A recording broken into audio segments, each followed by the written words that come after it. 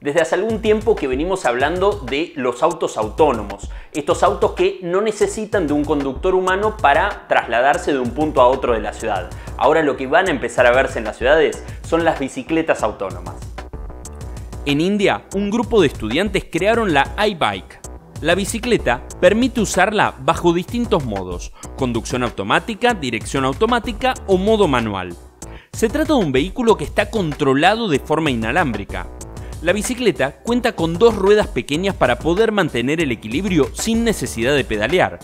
Funciona a través de un sistema de GPS y permite también indicaciones a través de SMS. El mensaje manda la ubicación a la que debe dirigirse.